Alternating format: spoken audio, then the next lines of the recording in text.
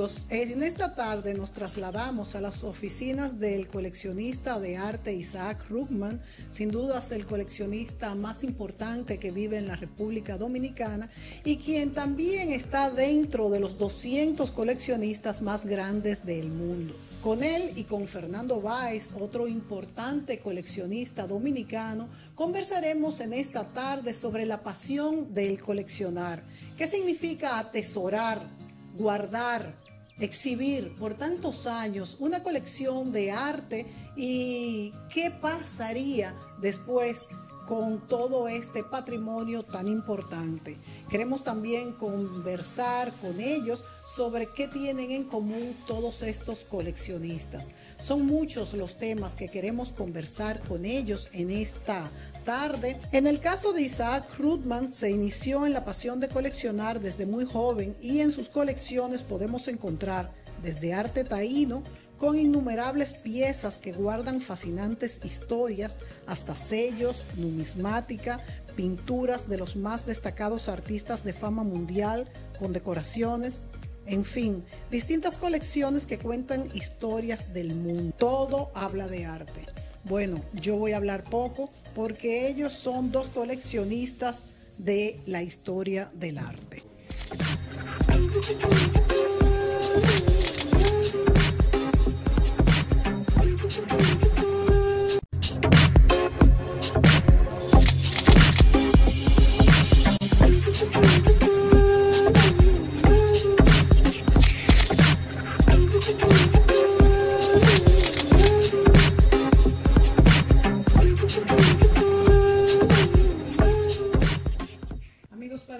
Un gran privilegio, es un honor estar aquí con estos dos coleccionistas de arte, Isaac Krugman, el mayor coleccionista de nuestra isla, y el señor Fernando Báez, guerrero, amigo de antaño, quien también es un muy importante coleccionista del país.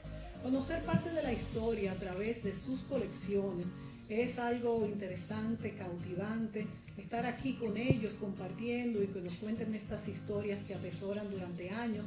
Para mí es, lindo y por eso quise llevárselos a ustedes allá, hasta sus casas. Fernando Báez y señor Isaac Krugman, bienvenidos a Entre Puntos.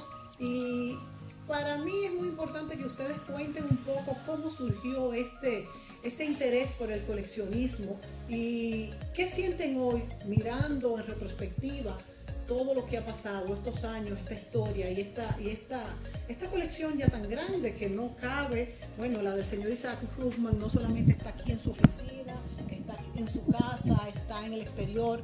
¿Qué nos puede decir? Gracias por estas inmerecidas palabras. No merezco el tan alto que me ha subido.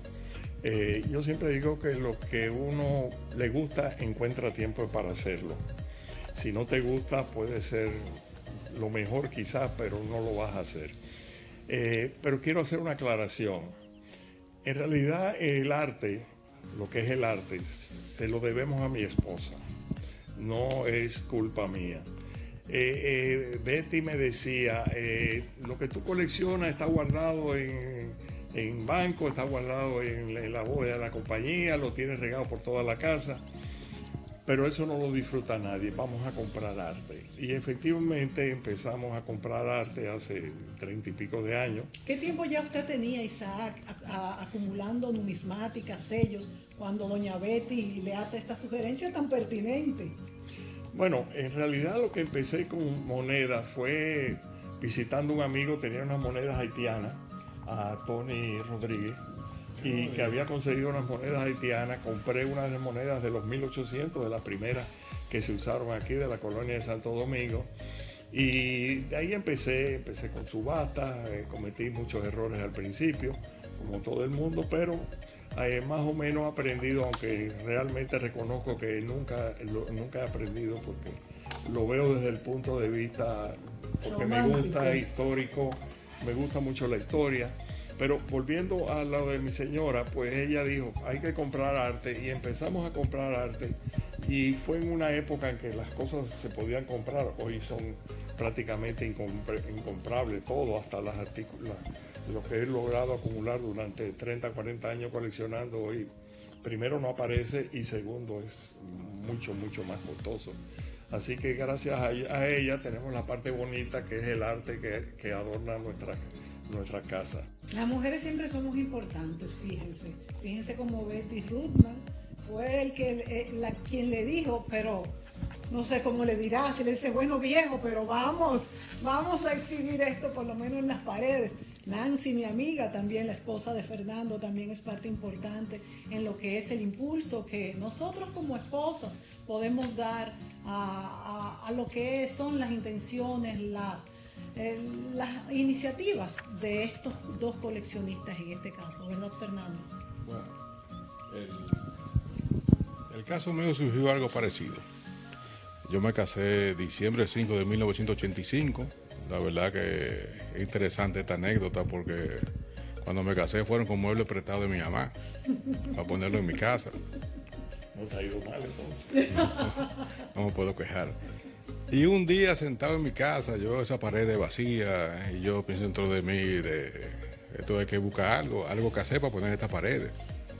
Pero ya con la experiencia de la numismática y de la filatelia, es lo que yo les recomiendo a todo el mundo, que si está interesado en incursionar en alguna colección, primero que lea, que, que se documente que fue lo que yo hice. Yo empecé a, comprar el libro primero y la moneda después. claro, como dijo Isaac, todos hemos pasado con por muchas experiencias no agradables en esto, pero yo decidí primero, por la experiencia que tenía ya de 18 años coleccionista, comprar los libros. Y ahí empecé un día, un día me llevaron un Hilario eh, Rodríguez, por ahí fue que empecé mi colección, un pastel, quiero ante todo, como dice mi colega Isaac, agradecerle a mi esposa el apoyo que me ha dado, porque sin ella me hubiera votado con todos los cuadros para fuera de la casa. sí. Y por ahí seguimos, y fui leyendo, fui conociendo. El segundo cuadro que compré fue un, Julio York. El tercero me recuerdo que fue un Jorge Severino, eh, en base a lo que yo leía y lo que me gustaba. Porque yo les recomiendo a todo el mundo, lo más importante es que cuando uno incursiona en el arte, que no vea eh, el valor de una obra tiene que buscar una obra que le guste, porque usted va a compartir con esa obra para el resto de su vida. Es como la, esposa de uno, usted, tiene que buscar una mujer que le guste a uno. Que le guste a otro. claro. Entonces yo eh, eh, le aconsejo a todo el mundo que de iniciar una colección que sea con las obras que le agraden a usted y a quien lo va a acompañar en la creación de ese hogar, oficina, Vamos a poner al acompañante. Exacto. Fernando, al tú decir eso, me recuerdo de cosas que le ha pasado a uno en estos años de coleccionista. Yo he visto cosas increíbles que se podían haber comprado por nada y después, mira, eh, eh, me vendían un Frida Kahlo que era ella sentada en la silla de ruedas pintando a, su, a su doctor que costaba 60 mil dólares, hoy cuesta 5 millones. Así me, me, estaban vendiendo del tipo este que pinta la gente deformada, ¿cómo que se llama? Eh, el inglés. Bueno, el tríptico gigantesco de él, 100 mil dólares, valen 20, 25 millones. O sea, uno, ¿por qué? Sencillamente, porque yo no, no, me interesaba vivir viendo eso. Entonces digo yo, si me equivoco, bueno, por lo menos, por lo menos que yo soporte ver eso, pero no cosas totalmente deformadas. Y que sin sentido de una mujer en una silla de ruedas. ¿para qué? Así, bueno, en algunas pegamos, pero siempre porque eran cosas más, más llevaderas. Pero en otras cosas uno, debe comprar lo que le guste. Y tú sabes que uno va a museos, va a exposiciones, educa el ojo y desarrolla su gusto. Cada uno tiene un gusto distinto. Sí, eso es muy importante lo que dijo Isaac. Indudablemente, para uno incursionar en el arte, no tanto en las monedas, en los sellos y otro tipo de colecciones, eh, hay que educar el gusto. Eh, hay que visitar museos, hay que ir a exposiciones. Lo mismo al principio, que Fernando dice, bueno, comprar lo que me guste, pero al principio quizás, como no tenemos el ojo educado, nos gusta algo que no necesariamente es lo que es bueno, Es artísticamente hablando. Sí. Entonces, ¿en qué momento quizás ustedes ya tienen un gusto educado? Porque ellos dicen que compran lo que les gustan, pero ya ellos ponen el, el ojo donde ponen... Educado o equivocado, porque la- lo, lo que se ha metido por las nubes no lo compramos. ¿entiendes? Sí. Pero Claro, claro. educado o equivocado, pero que uno pueda vivir, que no Claro. sea una cosa que uno la compre para tenerla guardada, aunque en realidad eh, mí se me va la mano en todo. todo. Y El coleccionista pudiera ser un comprador compulsivo. sí, lo es. Lo es. To- todos, Todos. sin lugar a, sin lugar a dudas. Sin lugar a dudas. Sí, sí, sí, sí, algo, sí. Después se está repitiendo al otro. Sí, sí, sí, sí, sí, sí, sí. quiere poseer todo. Pero entonces, entonces ese, ese cazador nunca se cansa de conseguir nuevas presas. Pero Así- por, por suerte, ¿no? Eh, por suerte no. Ahora, yo particularmente, yo creo que al igual que Isaac, puedo decir que yo me siento realizado como coleccionista en el año 2000, eh, eh, 2007 creo que fue. Hice una exhibición sobre Clara Ledesma, que fue en el Centro eh, Cultural APEC. De ahí en adelante yo vi el interés de mucha gente de ver las obras de- de- del artista dominicano, que es lo que yo estoy especializado. Y ahí decidí cambiar, en vez de almacenar, mi, mi meta es compartir. Eso es lo, yo creo Sí. que es lo más importante. Y ahí iba a preguntar que cuál es la diferencia entre un, un coleccionista y un acumulador.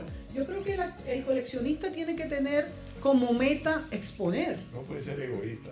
Exacto. Claro, claro. Puede ser egoísta y compartir lo que tiene. Pero Porque al, al fin y al cabo muchos- es para eso. hay muchos y eso Claro, claro, claro. Eso está muy mal. Y yo también, a las palabras de- del señor Isaac, mm, le quiero, les quiero preguntar a ambos. ¿En qué momento un coleccionista empieza a vender? Hay dos clases de ventas. Venta porque ya una pieza quizás no le interesa o no va con la colección. Y venta porque ya quiere comenzar a desprenderse de lo que ha coleccionado. Háblenme de esto. Mira, no sé si tenemos bastante tiempo, pero en el caso nuestro, por ejemplo, la primera compra que hicimos fue un amigo, eh, Georgie Nader, que vino con un catálogo de una subasta en New York y me la enseñó la subasta y le dije, cómprame. Y le, le señalé, creo que ocho obras, nada importante, de las cuales me compró seis y de las cuales no tengo ninguna hoy. Porque esas fueron, eran, no era nada importante, no, no, no era- Fue un antojo. no, no fue un antejo, fue la ignorancia, fue algo más o menos bonito. Uno no se atrevía a gastar eh, eh, más de 2 o 3 mil dólares a lo mejor. Entonces, y eso fue hace 30 años. Pe- Sin embargo, era una época increíblemente buena para haber comprado buenas piezas y, so- y súper baratas. Pero lleva años, primero que uno tome el valor, segundo que tenga los recursos para hacerlo, porque no siempre ha sido lo mismo. Y, y eso, es, eso es importante. Entonces se vende cuando tú sales de cosas que ya no son importantes o tu colección crece a un nivel tal o acumulaste. En el caso de las monedas, Fernando y yo lo hemos sufrido mucho, porque como somos perfeccionistas, eh, aunque tengamos una moneda, parece con una- un grado mejor y compramos esa y vamos acumulando por el camino para llegar quizás al grado óptimo, siete, ocho monedas repetidas. Entonces, ¿qué tú haces con esas monedas repetidas? Eh, aquí ahora, por ejemplo, ha surgido un gran interés de coleccionistas, sobre todo numismáticos. Hay un grupo bastante importante, eh, somos más de 100 ya, y tenemos muchos coleccionistas extranjeros que están, también son socios de la Sociedad Numismática Dominicana. Y también está la Sociedad Filatélica, ante la numismática está más activa. A pesar de la pandemia, estamos seguidos, seguimos, nos seguimos reuniendo, tenemos intercambios todos los meses entre los, entre los, socios, los coleccionistas. Y invito a Una la forma gente de a que se conectarse en el integre. mundo. Este, esto de Sí. coleccionar.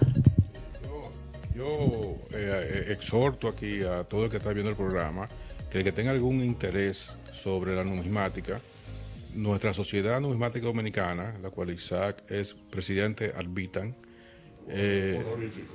eh, honorífico Advitan, eh, que, que- que lo contacten por las redes, cualquier cosa, cualquier inquietud que tengan. Asimismo, la Sociedad Filatélica Dominicana también está a la disposición de todo el mundo para cualquier consulta que puedan Incluso hacer. problemas que tengan los coleccionistas Así ahora es. que hay tanta compra por internet que pudiesen ser fraudulentas. Hay que, hay que conocer más sobre esto. Y en las mismas subastas, que bien ustedes comentaban en algún momento, de que pudieran ponerse de acuerdo personas para que una que otro que quizás no tiene la experiencia compre este o cual pieza también esto. No todo es un placer para los coleccionistas. No, no, no, no todo es un placer. Sí, sí, sí, Sobre la pregunta tuya eh, de vender, eh, increíblemente, yo con la pasión que compro, que cada cuadro que compro lo sigo comprando porque me gusta, eh, yo he vendido un solo cuadro en mi vida. ¡Wow! Que fue un Ramón Oviedo que vendí hace cerca de siete meses. Y a lo mejor te arrepentiste. No, yo no quería vender. pero la verdad es que ese cuadro tenía una particularidad que a mi esposa Nancy no le gustaba. ¿Y, estaba en tu casa entonces? Eh, no, estaba en el, en el depósito de cuadros y yo dije, pero si yo no puedo guindar este cuadro. Claro. Si, si no le, le, gusta a, mi esposa de 35 años, y hago una con este cuadro. Y apareció un coleccionista, me hizo una buena oferta, y yo dije, sí, llévatelo. Esa es la historia. ¿Alguna anécdota antes de pasar a ver cada una de las de las obras que están aquí en la oficina del señor Isaac Krugman, porque tiene muchas otras en otros lugares. Me interesa ver estas obras precolombinas de arte taíno. Pero me gustaría, antes de pasar hasta, hasta la otra oficina, que ustedes me hicieran algunas anécdotas como coleccionistas que, que quizás son dignas de que las conozcan la gente, quizás cómicas, quizás trágicas, porque gastaron dinero que no, no era el que esperaban. ¿Qué nos pueden decir como anécdotas? Son muchas son muchas las anécdotas. Te podría decir, por ejemplo, que yo daba viajes, bueno, eh, daba viajes a Puerto Plata, detrás de los billetes esos de Puerto Plata, infinidad de veces, y nunca pude conseguirlo. También un día apareció, esto fue interesante, apareció un día en el Banco Central un joven con 10 monedas, con una historia interesantísima. Eran 10 monedas de plata, 8 de ellas de Santo Domingo, que es la única vez que han aparecido ocho monedas dominicanas juntas de la época colonial y dos monedas españolas corrientes. Ese joven la llevó al Banco Central para que le dijeran qué valía. Eh, me llamaron al Banco Central, que siempre he cooperado con ellos cuando he podido en alguna darle orientación. Y me quedé maravillado porque eso no existe. Eh, me pasé años detrás de ese señor, años. Él vivía en San Pedro Macorís. Eh, la historia de las monedas es, créalo o no lo crea, dice él que había un señor que soñaba, que tenía una finquita, soñaba con un entierro, que había unas monedas en un sitio, se fue con dos amigos, cavaron, las encontraron y el individuo dijo, estas son las monedas del muerto y las tiró en un río. Y este joven que andaba agarró lo que le cupo en la mano y se lo metió en el bolsillo, que fueron esas 10 monedas. Créelo que no lo crea, si sí o si no, nadie sabe lo que había ahí porque podía haber, ahí podía haber moneda de 10 reales Santo Domingo que valen 4 500 mil dólares. Y no se sabe, pero esas 8 eh, que eran de Santo Domingo, yo me pasé años y el Señor, voy, el domingo y no se aparecía, y voy el otro domingo y tampoco. Me vendió dos un día para descansar de mí y después, porque él había sido estudiante de, eh, de Monaguillo, había sido Monaguillo, y un, un colega de él se estaba ordenando en Roma y necesitaba el dinero. Entonces, por fin me vendió las seis monedas después de casi 10 años detrás de Pero miren qué valor para él también sabía que tenían, o sea, él sabía el valor. No, no, y él era una persona, a pesar de que era pobre, pero él coleccionaba, por eso que le llevaban las cosas. No, pero y esas son miles, miles de, distintas. Eh, una de mis anécdotas que más me gusta fue con el maestro Ramón Oviedo que estábamos en casa compartiendo, siempre le gustaba su vinito, eh, su, su jamoncito serrano, su cosa, hablando y ahí. Y yo le digo al maestro, maestro, yo necesito un favor suyo. Dice, ¿cómo no, Fernando? Dime, dime lo que tú quieras. Yo, mire, yo quiero un cuadro suyo al mínimo esfuerzo. Yo no quiero un cuadro muy trabajado suyo. El maestro se quedó mirándome hacia los ojos. En mi casa, con esposa, creo que estaba un hijo mío. Y dice, Fernando, yo te entiendo lo que tú me estás diciendo, pero yo te voy a dar un consejo. A un maestro no se le dice qué hacer. maestro, excúseme. pero yo te lo voy a hacer como quieras. Sí, Muy buena. Que Sí, no, increíble. Me hizo un cuadro eh, 80 por 60 Sí, eh, lo tengo en, mi sala como cuadro principal, porque es un cuadro totalmente diferente a, todas las líneas que el maestro Ramón Oviedo ha hecho a través de sus 60 años de carrera. ¿Verdad? ¿Cuál era el? Eh, ¿Era abstracto? Era... Minimalista totalmente. O sea, que sí se llevó lo que, te, que sí, sí, sí, me, me, me, hizo cuadro con más transparencia, en amarillo, en blanco, eh, con una línea como de fuego en el medio, en, una rejita claro. Para, mí, el maestro Viedo tenía una cantidad de motivos tremendos, no se repetía mucho. Y, para mí es uno de mis, mejores cuadros. y además que te lo hizo a ti. Y me lo hizo a mí también. Una vez le, digo yo, maestro, en mi casa también, yo creo que usted me haga un cuadro. Usted sabe cualquier cuadro, porque espero que sea grande. Esa gente te voy a hacer uno aquí. Y como a los dos o tres meses me lleva otro cuadro como 70 por 60. Impresionante. En unos tonos de grises. Y, con un ojo en el medio. Y me le puso, me, dijo, cheque el título de atrás cuál es. Tú vas a saber el título cuál es. Se llama El Vigilante Nocturno. ¡Wow! Fernando. Sí, sí, sí, yo dije, maestro, me queda muy bien aceptado. Eh, hubo eh, hace un par de años en el Centro León una, una, eh, una reunión de coleccionistas para tratar sobre el tema del coleccionismo. Me tocó tener, dar una charla allá y para preparar la charla busqué cuáles eran las razones por qué se coleccionaba. Hice un pequeño resumen, si me permiten, te lo voy a leer. Conocimiento y aprendizaje. Relajación y reducción del estrés. Placer personal que incluye la apreciación por la belleza y el orgullo de la posesión. Interreacción social con colegas y coleccionistas y otras personas.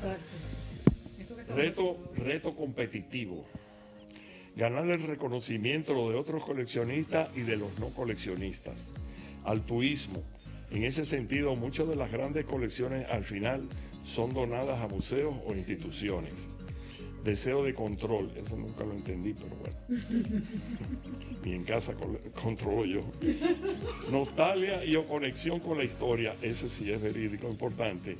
acumulación y diversificación de la riqueza que provee a largo plazo un mayor nivel de seguridad y de libertad económica.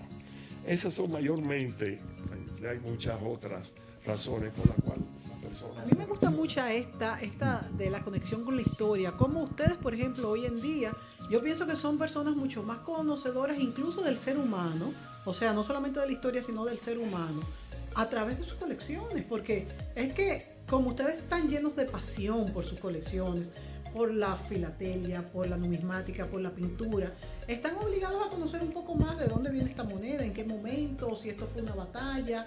Y yo creo que ustedes hoy en día son personas mucho más eh, apegadas a, lo que es la pasión de la vida que cuando comenzaron sus colecciones. ¿Es así? Yo te, puedo decir que sí. Sí, indudablemente que sí. Yo pudiera coleccionar, por ejemplo, las indias, que son las islas de, y si no las conociera cada una de ellas, si no supiera en la historia, si no supiera qué pasó, en qué época, quién la controlaba, cuándo dejaron de controlarla, por qué se hicieron las monedas, por qué, por qué se mutilaron esas mismas monedas. Si tú no tienes ese conocimiento, tú no tienes idea de lo que estás haciendo. Y yo me pregunto, algunos de sus hijos, ustedes tienen, los dos tienen tres hijos, ¿verdad? Tres tengo yo. Tres, y tres tiene Isaac Ruckman también. Ninguno de sus tres hijos se animaría a hacer el, el animador, el propietario de un museo donde se exhibieran todas estas obras que ustedes tienen recolectadas? Bueno, en mi caso se matan todas por el arte. Bueno, pues entonces sí, entonces sí. No, y yo de hecho le, digo una cosa, yo le, he regalado arte a todas ellas. Tengo una que vive aquí en República Dominicana, dos que viven en los Estados Unidos y su casa es entera, todo el arte que tiene he tenido la suerte que se lo, podido, se lo he podido ceder. Y eso, lógicamente les encanta. Ya en la cuestión, tengo la esperanza de que algunos de los nietos se, se apasionen. De hecho, yo le hacía colecciones pequeñas a ellos y, las tienen ahí, y tienen años que ni me preguntan de qué están Pero hoy, hoy es distinto. Anteriormente el coleccionar era algo mucho más. Ahora hay con todos los juegos, los videos y todo hay demasiadas todas esas cosas. Hay demasiadas cosas que hacer. Sí, es cierto. Bueno, en, el caso mío, eh, mis hijos, ahí increíblemente, nunca he hablado con Isaac sobre eso, pero coincidimos en algo. Es que cada hijo mío, a medida que se han ido casando, yo le he dicho, para decoración de, su casa, cojan el cuadro que ustedes quieran, con una sola condición. Es que no me, no me piden que tengo guindado en la pared. Claro, claro, claro. Porque ya ese es tuyo, porque Sí, porque ya ese está puesto en la pared, pero llévense lo que ustedes quieran. Y, y, gracias a Dios los tres han mostrado mucho interés por el arte. Ahora tengo un nietecito, Mateo Andrés, que yo siempre lo cojo por mi casa y lo paseo frente a todas las obras de arte. Y, ya él se para frente a un cuadro y le da cierta satisfacción y ya él sabe cuáles cuadros le gustan y cuáles cuadros no le gustan. Tan pequeño. O sea, es sorprendente. Yo subí un video en, en Instagram donde yo estoy con él y, lo volteo a ver un cuadro y él se emociona y dice, wow, increíble Mónica eso, un año y seis meses. El chiquitico. El chiquito. Sabe decir wow, ¿verdad? Dice wow. Ay, qué lindo. oh.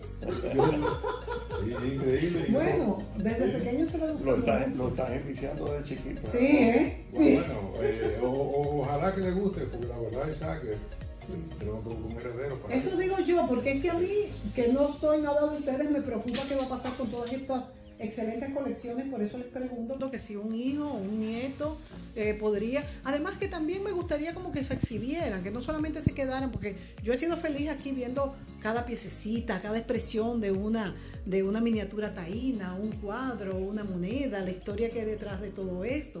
Entonces me gustaría que todos los dominicanos pudieran disfrutarla también.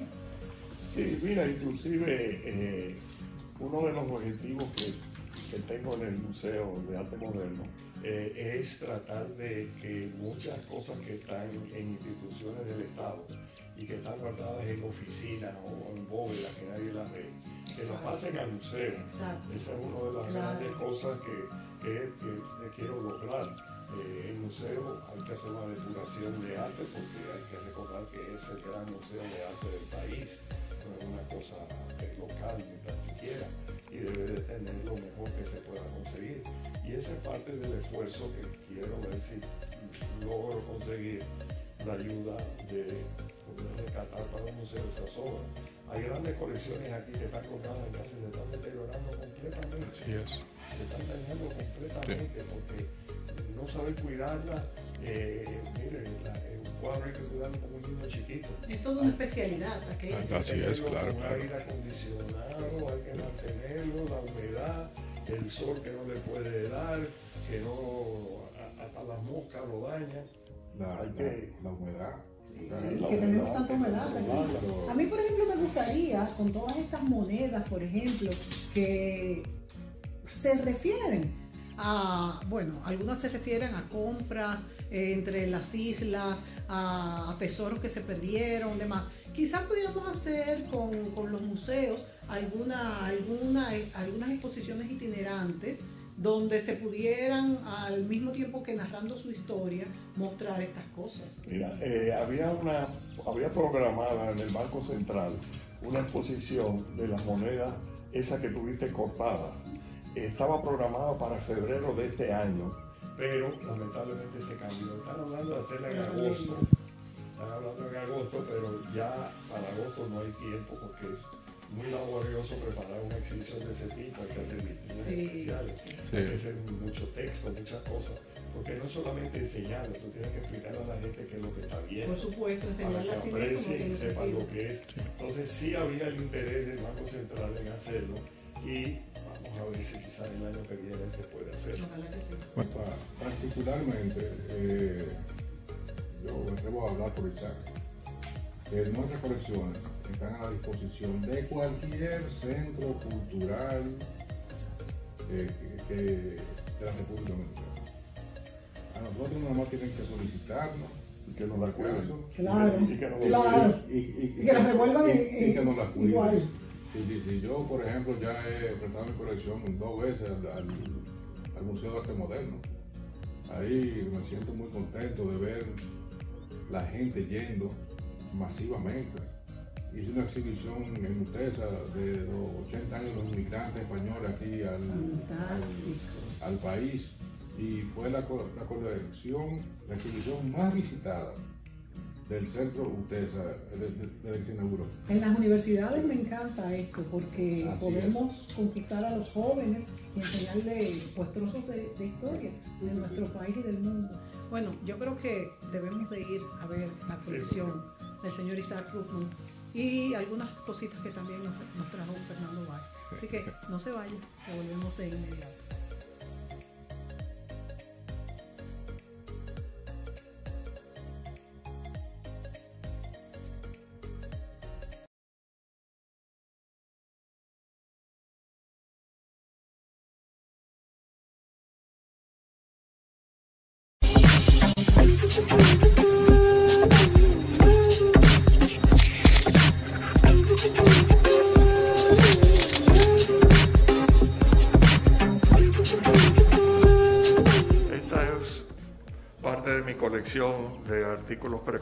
Precolombinos, taínos casi todos, por supuesto.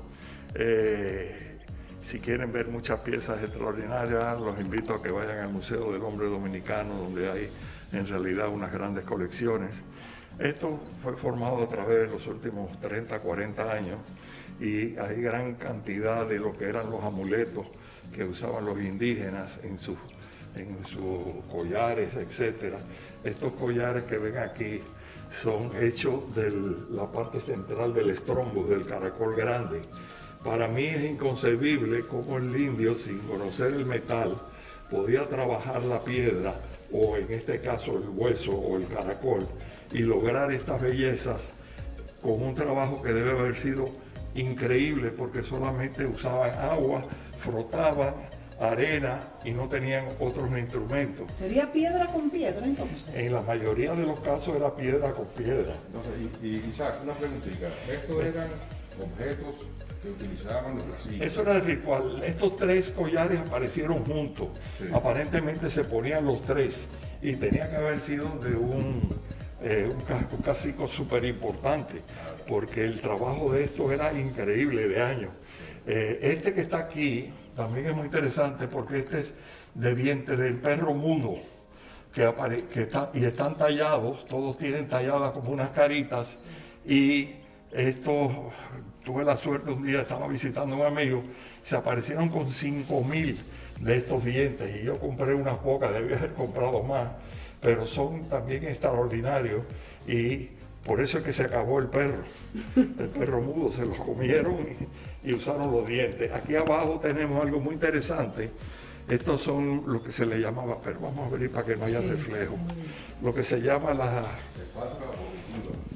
que son las que usaban los chamanes a la hora de hacer la ceremonia de la coba y las utilizaban para provocarse el vómito y limpiarse espiritualmente.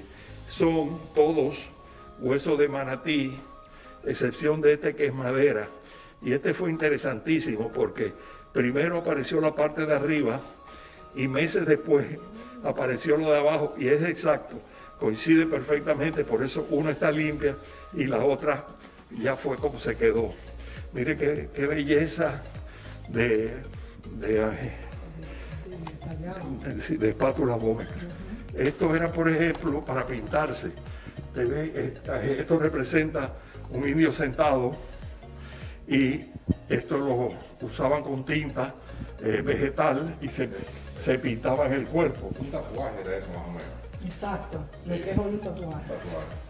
Sí, es interesante, Isaac, que tú recalques sobre el uso del oro en, en- en los taínos. Bueno, el oro era el único metal y al ser de, eh, blando, ellos lo aplanaban y con eso hacían estas láminas que son de un oro eh, muy mezclado con cobre y otros materiales.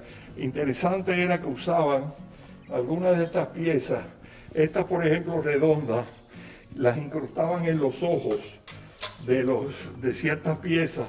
Mire, eh, usaban, aquí por ejemplo, ustedes ven que, que en este fragmento de potiza, pero esto es nácar, es pedazo de nácar que los ponían en los ojos y también en la boca hacían unas piezas que parecían dientes, que por aquí debe haber alguna. Bueno, por ahí están. Eh, y estos son fragmentos. Lo, verdaderamente raro es que piezas de este tamaño hayan sobrevivido enteras. Siglos. Porque eh, eh, fragmentos aparecen muchísimos, pero piezas enteras como estas potizas grandes y estas ollas, eso la verdad que he tenido una suerte inmensa al poderlos conseguir. Yo voy a hacer la historia que Isaac me acaba de hacer para, para que la gente entienda cómo aparecen estas piezas. ¿Cómo aparecen estas piezas? Bueno, esa por ejemplo... Eh, eh, eh, de esa Isaac va a hablar. Es muy interesante oír esto. Eran unos pescadores que estaban en el lago Enriquillo y pensaron que era una tortuga. Se tiraron a coger la tortuga y lo que se encontraron fue esa pieza. Fíjense que se quedó, yo las dejo igualitas con las concreciones marinas, porque eso en gran parte, primero protege la pieza y segundo le da el sello de, que son reales. Eh, sobre el sello que son reales también, es bueno destacar el hecho que nosotros vemos por fuera la pieza bien lisa. Sí, sí. Pero, pero por dentro, cuando uno le mete una, luz, se ve como estriado. ¿Y cómo lograban ese efecto? porque el indio no conocía el torno. Entonces el indio lo que hacía unas bandas de, arcilla y las iba pegando. Por dentro no podía pulirlas, pero por fuera sí las pulía. Entonces, una de las cosas que demuestra si las piezas de este tipo son buenas es cuando tú las puedes ver por dentro y ves que son bandas pegadas. O sea que le, le, daba, mucho más trabajo. sí, sí, no, no, había torno. Eh, eh, esos eran eh, hilitos de, de, de, barro que iban poniendo. Y, y, acomodándola por, por fuera. la multiplicidad de formas que ellos tenían Claro, aquí hay distintas culturas mezcladas, son varias, pero mire este, por ejemplo, esto es claramente un murciélago. Y, representan siempre, mire esto, estos son, eh, ¿cómo, se llama esto? Eh,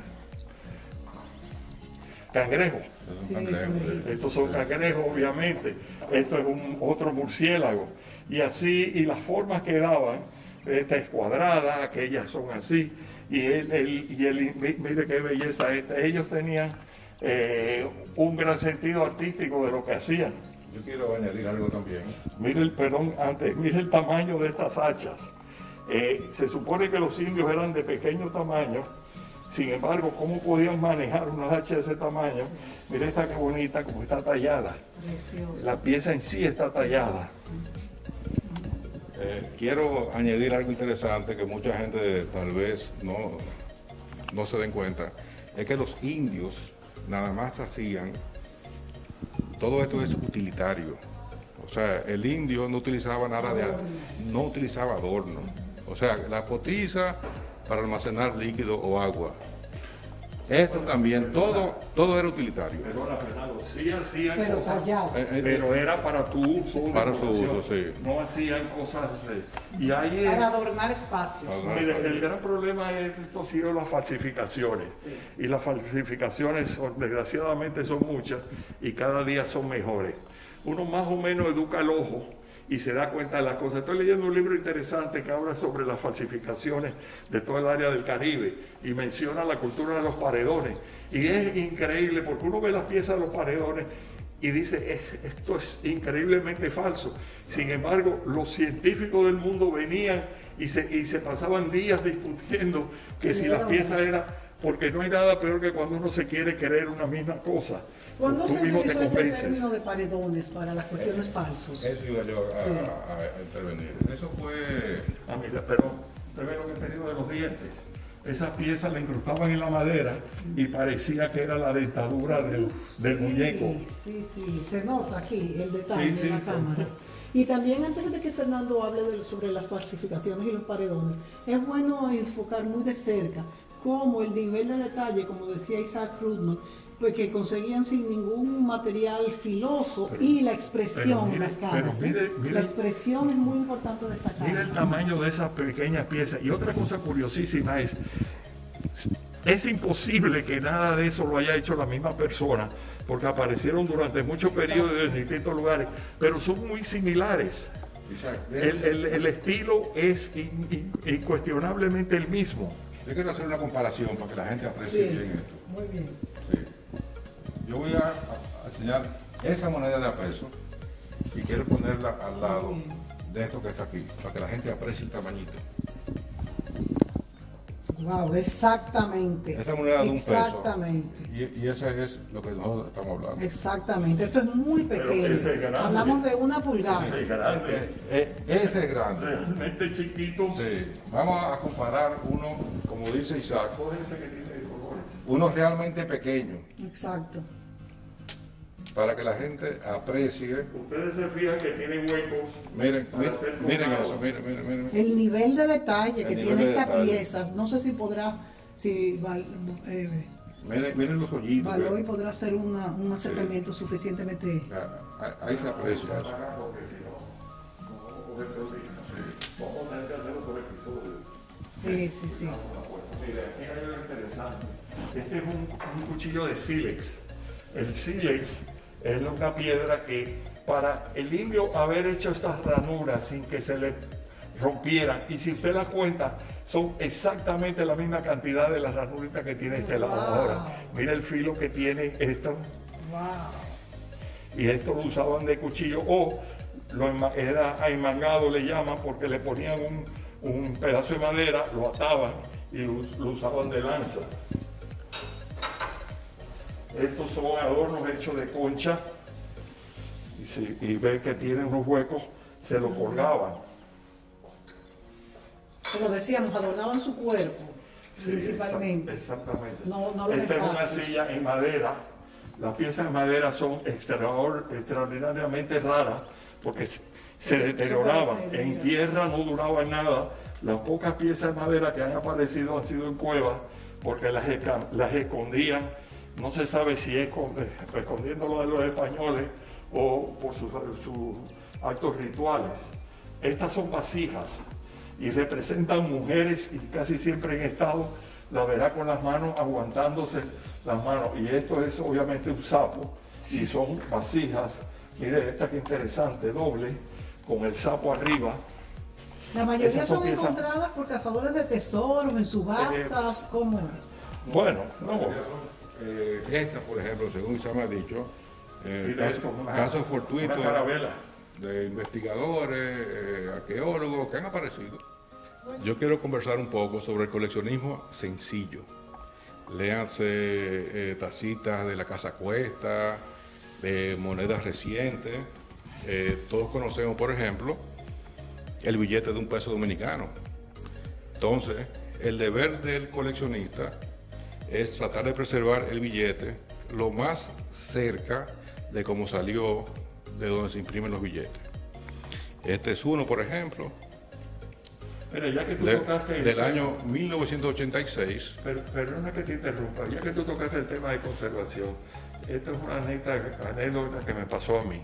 Estando visitando el Museo Británico para ver la colección de estampillas que había sido comprada a los 5 o 6 años después de haber sido hecha, eh, logré bajar, me llevaron a un lugar, a una bóveda bajo tierra, y un señor con guantes y vestido de blanco y todo, me la saca, me la enseña montado en un- unos materiales plásticos, y después que yo lo veo, le digo al individuo, ¿dónde ustedes compran estos ma- plásticos para usarlos en mi colección? Y el individuo me dijo, no, imposible, nosotros no podemos confiar en nadie, nosotros desarrollamos nuestros propios materiales, y, viene, y la parte bonita viene después porque nuestra misión es conservar esto para siempre.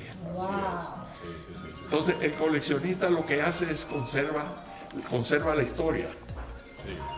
Aquí, por ejemplo, yéndonos ahora a la historia del otro día, que solamente hace 30 años.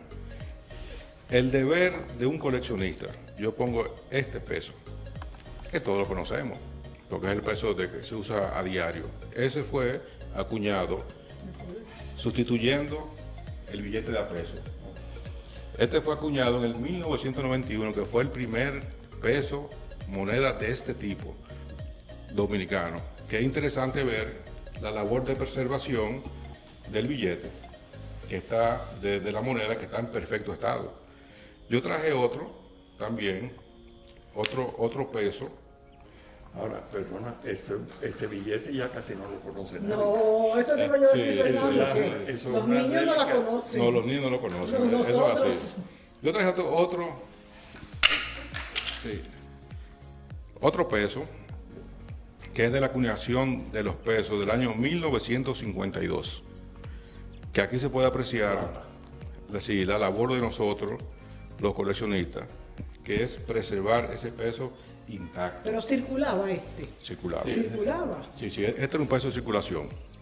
Sí, hay No de colección, era de circulación. de circulación, sí, esa es buena apreciación Sí. esa, que era de circulación.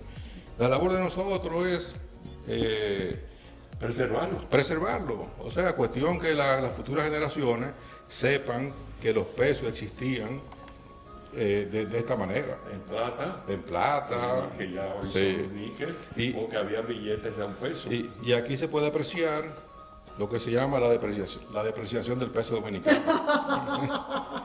lo que era un peso antes y lo que era un peso No, ahora. pero solamente, y este y el peso no le debe quedar mucha vida. No, porque porque el no peso vale vale menos de vale menos de 50 es más caro era más caro hacer esto imprimirlo el valor que tenía por y no, eso de- y no desapareció debería decir yo esto para que no me calculen la edad, pero cuando éramos pequeñas nos daban 25 centavos para la merienda y comprábamos más de una cosa. No, no, pero- más de una cosa. Vámonos a la pausa y volvemos de inmediato. Sí. Fernando Báez nos hablaba de la conservación, de la responsabilidad que tiene el coleccionista, de que esto perdure para siempre. Aquí vemos los estuches, que no en este caso, por supuesto, pero muchas veces van, eh, eh, superan el valor de lo que tiene adentro. No en este caso, que estamos hablando de unas monedas muy valiosas. Estas son monedas antiguas de Santo Domingo. Esta se considera la prueba, o sea, prueba fue que hasta ahora no se conoce en Como Isaac, una muestra, o como una una, muestra o- como para una acuñación futura. una muestra para acuñación futura de una moneda de 10 reales del 1855. Creo que se conocen 6, ¿verdad? sí en plata se conoce menos cuatro como cinco o seis es difícil saber Eh, eh, esta Y una sola en cobre. Era republicana, después de 1844, la moneda más rara que se ha eh, acuñado para uso en República O Dominicana. sea que ya esta es una moneda de la época republicana. Correcto. Y es en plata, ¿verdad? Sí, sí, sí. Es en plata. Entonces, Isaac, síganos explicándonos sobre estas monedas que ya la, la tomamos en detalles.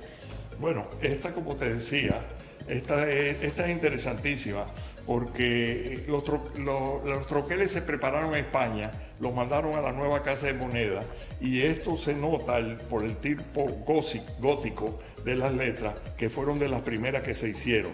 Dice PS, que son las marcas de Santo Domingo, y, del est- y de este lado tiene el escudo, dice Carolos y Joana. Wow, pero es una moneda bellísima. A ver si pudiéramos tener Esa es excepcional por, por el tipo de letra gótica. Una belleza. Posteriormente, ya cuando los, se gastaron los cuños góticos, entonces ya las letras se hicieron aquí y son mucho más crudas. En algunas de estas monedas uno ve que hay mezcladas letras, por ejemplo, esta S gótica, pero las otras son más rudimentarias porque ya estas fueron hechas aquí. Y la moneda, aunque rarísima, eh, son, este es un cuatro reales, que era una denominación muy alta. Existe una de 10 reales también, pero de- desgraciadamente solamente hay tres y han sido imposible conseguirlas. Eh, Una está en un museo y las otras dos están en manos de un dealer que la tiene desde 1908. Y Pero para venderla. No hay forma que las venda. La No porque van a tomar más valor.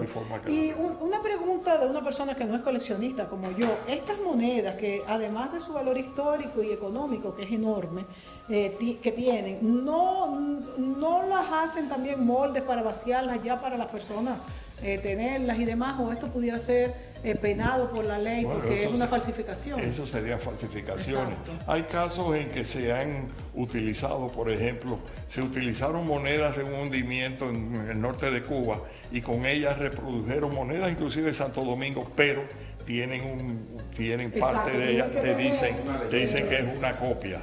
O sea siendo así entonces ya no sería aunque eso es peligroso porque le pueden eliminarlo de la copia y tener problemas. sí. Pues las monedas como le decía desde el otro día que se hacían se empezaban a falsificar porque normalmente la razón de hacerlas era para aumentar el valor eh, estas son monedas del, área del Caribe, de las islas del Caribe. Esto es fascinante porque el problema era que lo, que las monedas que circulaban eran las monedas que venían de los sitiados, los sitiados que venían de México o, de Perú cuando eran colonias españolas, cuando eran colonias inglesas venían de, venían de Inglaterra, si eran francesas venían de, venían de Holanda eh, perdón, si eran de holandesas de Holanda y así sucesivamente. Pero ¿qué pasaba? Como las islas no producían, no tenían metal, no tenían metales valiosos, cuando llegaba un barco con eh, cosas que no se producían en la isla, vinos, eh, aperos de labranza, harina, todo ese tipo de cosas, los comerciantes lo que se llevaban era el oro y la plata. No había fiado, no había otra cosa, no había tarjeta de crédito, ni te debo y entonces se llevaban. Entonces, ¿qué pasaba? al otro día el comercio no tenía con qué eh, negociar porque las monedas se iban.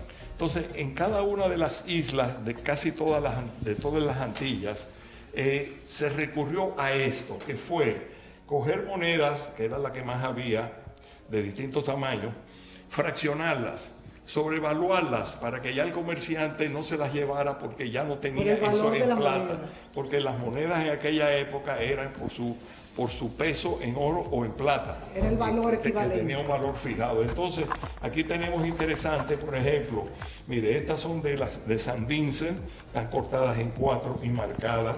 Fíjese que las marcaban en la orilla, porque una técnica muy recorrida era robar metal de la orilla, y eso se hacía mucho en las de oro robaban el metal, entonces por eso ponían las marcas cerca. Este es Santa Lucía, ellos lo cortaban en tres pedazos. San Vincent tiene algo curioso, como estaban bajas de peso, le ponían un block con más, con más plata para subir el valor al valor que debía de tener y arriba de eso ponían sus iniciales, que esto era gente designada, normalmente joyeros o plateros, por el gobierno para hacer ese trabajo. Esto parece una pizza, por ejemplo. Esta es de Granada y esta es la que más fraccionado. Esta tiene 11 pedazos. ¿Son originales? Algunas. La mayoría son falsas. Porque eh, eh, era más las falsas casi que las buenas que había. Ahora, estas son, falsas de la época. Falsas de la época que circularon, que se deben considerar distintas. Son falsas de la, época. porque hay también falsa moderna. Claro que es La falsa moderna, porque usted coge una moneda como esta, la corta en cuatro, usa la guillotina requerida para que luzca lo que es, y una moneda que vale 80 dólares puede valer 4 mil. Yo quiero añadirle algo que Isaac está, eh, algo muy importante. Isaac tiene estos cuatro pedazos eran cuatro pedazos independientes, o sea, circulaban independientemente. Entonces, la gran labor de Isaac ha sido a través de 50 años, 60 años dedicado a la numismática, lograr conseguir los cuatro pedacitos estos en distintas islas. En distintos sitios, subasta del mundo y lograr componerla completa. No, y la moneda está reconstruida. Esa es la, moneda tiene exactamente ese diseño, que es lo difícil. a, veces, a veces uno tiene la suerte con las raras que están tan gastadas que usted puede usar cualquier pedazo. Y de esta, por ejemplo, solamente se conocen siete. Y aquí he tenido la suerte a través de todos estos, años. Y, y, estas son de las distintas subastas en que han venido esta inclusive fue usada en dos islas. Aquí está marcada para Tortola. Cada vez que llegaba a una isla. Y también para Curazao. Hay algunas que tienen hasta tres islas que son extraordinariamente raras. Santa Lucía, Curazao. Esto es con las monedas fraccionarias. Aquí, por ejemplo, hice para, para que se vean bonitos, un medio y, y cuatro cuartos. Se ve precioso. Y, y- y- y que esto coincida exactamente, que uno consiga el pedazo del medio y que coincida exactamente. Esta es una belleza. Esta circulaba, de- o sea, es original. Eran cinco pedazos que Eran circulaban separados.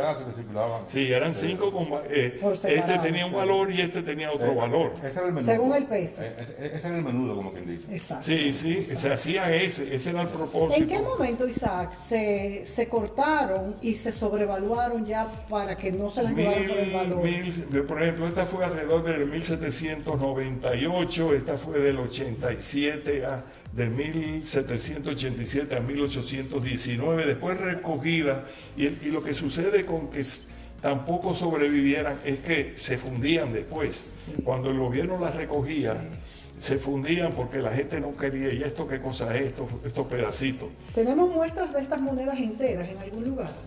Sí, enteras es fácil, enteras son Enteras, comunes. Enteras no tienen, no tienen, no, no tienen nada. Le digo, entera vale 80 dólares, 100 dólares una moneda. En, así y reconstruida es una labor, eso le digo. Wow, la verdad es que tenemos aquí la historia del comercio entre las islas, contenida en todo, todos estos pedacitos de metales, que es una labor titánica que el coleccionista Isaac Ruckman ha hecho durante muchos años. Volvemos. Yo oí muchos. Esta moneda es la primera moneda de Santo Domingo acuñada aquí en el periodo 1516-1556, que no es correcto, en realidad fue más tarde. Estas son de las primeras, esta es totalmente gótica. Esta es la moneda más rara de Santo Domingo, porque solamente se conoce una. Esta es de 1785 de Felipe II y solamente se conoce esta en- de, de estas. Es la más rara de todas. Estos son los cobrecitos que circularon en la isla, cuatro maravedí, y esta es la de Núñez de Cáceres de 1810, que es de Santo Domingo, que tiene Ferna- F7 de Fernando VII. ¿Tú crees que eso hay que repetirlo? ¿Eso quedó bien? Nos quedó bien. Bueno, Fernando Vázquez Guerrero es otro de los grandes coleccionistas de la República Dominicana. Y háblame un poquito de esa pasión del coleccionismo, además de lo que ya dijimos en la introducción, Fernando. Bueno, la verdad que el coleccionismo, yo creo que yo creo que uno nace con eso. Mi colega Isaac, por ejemplo, eh, uno lo ve ahora con su colección, pero debe tener muchos años, no voy a decir edad. Yo, por ejemplo, empecé a los siete años. Yo empecé coleccionando moneditas de circulación y a medida que, que iba creciendo me iba interesando más, iba estudiando más. Después un día me ma- mandaron una carta de Venezuela a mi mamá y yo vi de parte de su hermana, yo vi el sello y dije, ¿por qué sello más bonito este? Compré un catálogo y ahí empecé mi colección filatélica. O sea que la colección necesariamente no son cosas complicadas ni, ni caras. O sea, es el, el afán de uno o el deseo de uno de, de completar alguna serie o algo. Yo digo que todo el mundo es coleccionista. Por ejemplo, los relojes, que es otra gama del coleccionismo. Todo el mundo sabe que una gente con un reloj tiene para, para toda la vida, pero hay uno que compra el otro y compra el otro. Ya se convirtió en un coleccionista de relojes. Siempre tiene algo que ver con el tiempo también, con, con eh, qué pasó, qué pasó en la sociedad, que cambiamos los, moned- los modelos, incluso los relojes, todo esto tiene que ver. Sí, y así mismo se ve a través de los años los relojes como han e- e- evolucionado. Exacto. Sí, Otra cosa interesante, por ejemplo, de, de colecciones, son los celulares. Que, que la gente, eh, por ejemplo, yo que soy coleccionista, yo no quise botar mi primer celular. Un Motorola de esos Wow. gran- grandote, Sí. cuadrado, inmenso, con una antena de, de- de- de- de 12 pulgadas. Y guardé el primer celular. Lo cambié, un modelo nuevo. Guardé el otro. Resulta ser ahora ¿Cuántos celulares tienes ya? que se lo quiero donar al Museo de las Tele- Telecomunicaciones, que tengo la historia cuenta de los celulares. Claro. O sea, yo me he puesto a guardar el celular y a guardar el otro y a guardar el otro. guardado la primera computadora que compraste. Así mismo es. Y es que es así, mire, el coleccionista yo lo defino como un cazador. El coleccionista eh, quiere algo y lo persigue, no duerme, piensa en eso. después que tienes la posesión, ya cambia, porque ya es tuyo. Y, te, y entonces sale a buscar otra, otra presa. Pero todos coleccionamos algo en la vida. Hay, eh, hay, hay una pequeña eh, charla que se dio en el Museo León en Santiago. Y por ejemplo, hay coleccionistas que tienen 16 mil Barbie. Exacto. Tienen eh, de todo, llaves de hoteles, cositas esas de revolver que antes eran, la gente lo coleccionaba, tarjetas postales, sellos. Bueno, la filatelia no la hemos tocado. La cajita de fósforo. Exacto. Cajita de fósforo, encendedores. Eh, óigame, Todo tiene que ver con el tiempo y con un recuerdo, con una nostalgia, con una época. Le voy a enseñar algo muy interesante. Le voy a enseñar unas botellitas de lo que es eh, eh, el rapé. El rapé no era más que el tabaco molido muy finito, porque en China, en una época, no se podía fumar. Entonces lo que usaban era el rapé. Entonces ¿qué, hacían unas botellitas preciosas, que inclusive las tengo hasta de ámbar. Cogían una piedra de ámbar, la tallaban. Y entonces tiene una cucharita. Y hoy en día eso dirían que es para otro uso, la cucharita. Y ellos cogían del rapé y lo inhalaban a través de la nariz. Y era, hicieron miles. Y eso hay unas colecciones gigantescas de esto. Hay una de esas que las pintaban por dentro no puedo entender cómo lo hacían, porque son de cristal, de cristal de roca, y los pintaban por el interior con motivos preciosos. El coleccionismo no tiene límites. Uno colecciona lo que se le ocurra, cualquier cosa. Yo Yo, traje algo también para que la gente sepa lo que es el coleccionismo. Hace 35 años pasé por una vitrina en un, aeropuerto y veo las plumas Montblanc. Qué, bonita esta pluma. Y compré una. Cuando hace una mavia, eh, un modelo que era el negro con la cosita arriba. A los ocho meses, seis meses, paso y veo otra diferente. Y yo, pero qué interesante. Otro modelo diferente. Yo dije, déjame yo comprarlo. Entonces yo traje aquí una muestra que de hace 35 años para acá, la Montblanc, interesado en el mercado del coleccionismo, está tirando una serie limitada para coleccionistas de plumas.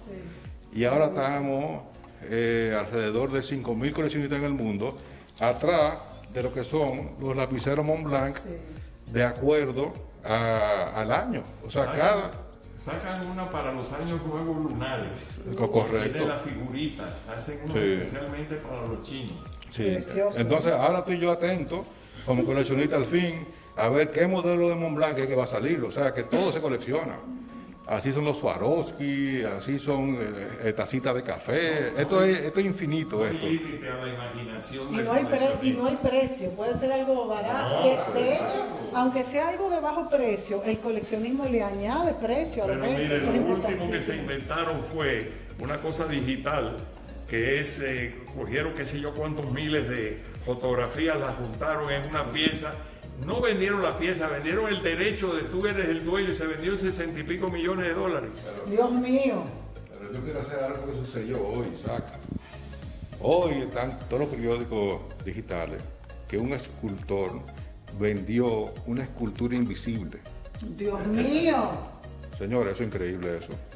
Eh, eh, no, eh, la capacidad de la gente que dice cualquier cosa. Y, en esa subasta pagaron 18 mil dólares por, una, escultura, invisible. ¿Y entonces cuál era la escultura, el, concepto? El concepto, que se inventó la escultura invisible. Y, Señores. Y un coleccionista pagó 18 mil dólares por algo que ni, lo puedes ver ni lo puedes sentir. No, pero aquello es increíble. Veamos las, medallas, que es algo interesantísimo. es una parte interesante de la numismática, porque aquí se refina, aquí se refina el arte de esculpir. Hay que ver, mire, la profundidad que tiene e, esa es el, relieve que tiene esa cara. Mire, esta es una pieza de 1809 de, eh, de, Cayena, que es parte de, que era una colonia francesa en Centroamérica. Pero es una belleza esta pieza. Eh, y así, por ejemplo, mire, esta es otra, esta de la isla antigua. Interesante esta porque atrás dice eh, Rescue of Natives Sí, parece que rescataron, y lo dice aquí atrás, se hicieron cinco monedas a cada uno de los marineros que estaban en un barco y que rescataron a tres nativos en el año 1846, 12 de septiembre, y le dieron esta medalla que, eh, de plata a cada uno de los cinco. Quiere decir, no hay más de cinco de esas medallas. Ahí vamos a lo mismo. ¿Por qué sabemos que ese evento sucedió? Porque hubo un coleccionista que decidió guardar esa medalla y desde el año 1846 todavía está aquí y podemos constatar que el hecho sucedió.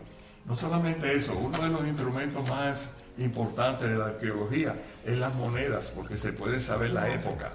Entonces, entonces, aunque no tengan fecha, aunque no tuvieran fecha, monedas de 3.000, 4.000 años atrás, pero por el diseño, por el motivo, se puede saber de qué época era lo que encontraron. Mire esta que bella de la reina Isabel, Isabel de... No, esta es Victoria. Esta es Victoria y esta es de la colonia de, de Guyana. Y así, esta es muy interesante, esta es por la terminación de la esclavitud, 1792, Abolition of Slavery.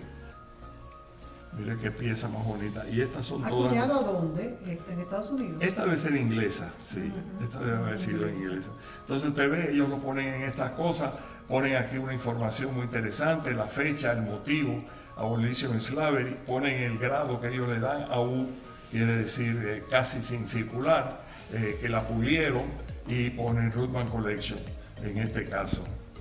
Fernando me hablaba de algo muy interesante en los billetes, Fernando, que tú has traído de la colección tuya, y es como el señor Isaac Ruckman se ha convertido en un referente para poder saber si es original incluso una colección.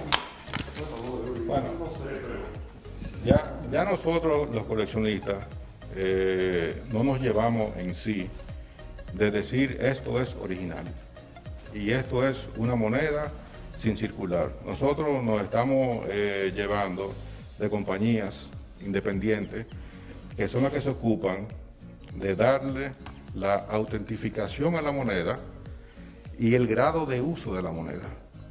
El grado de uso va desde 15 hasta, hasta 70. ¿De 15 este hasta 70 qué?